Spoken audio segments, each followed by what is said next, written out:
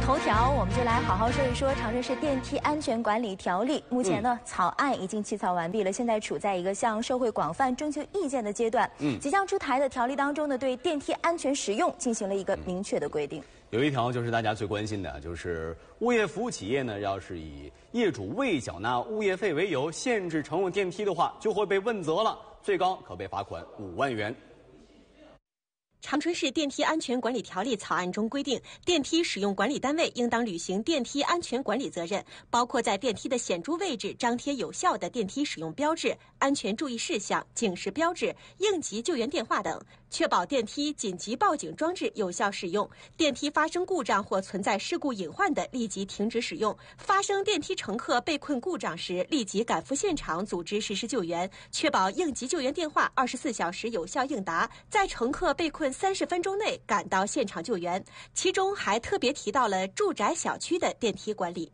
长春市电梯安全管理条例也对住宅小区的电梯呢做出了明确的规定，业主应当配合物业服务企业使用管理好电梯，同时呢也应当监督物业服务企业履行自己的职责。小区物业服务企业也不得以业主未交物业费为由限制业主乘用电梯。电梯维护保养也是重要一方面。长春市电梯安全管理条例草案中规定，电梯维护保养单位对其负责维护保养的电梯，每十五日至少进行一次维护保养，每六个月至少进行一次检查，并向电梯使用管理单位出具自检报告。一旦发现电梯紧急报警装置不能有效使用，乘客被困电梯未及时救援等问题，将责令其限期整改，视具体情况对电梯使用管理单位、维修保养单位进行处罚。